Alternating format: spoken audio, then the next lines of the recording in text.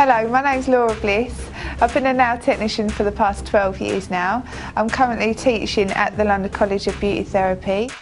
So to maintain your gel nails at home, it's important that you come back for your infills every two to three weeks. Uh, try not to file them because it may um, break the seal on gel nails.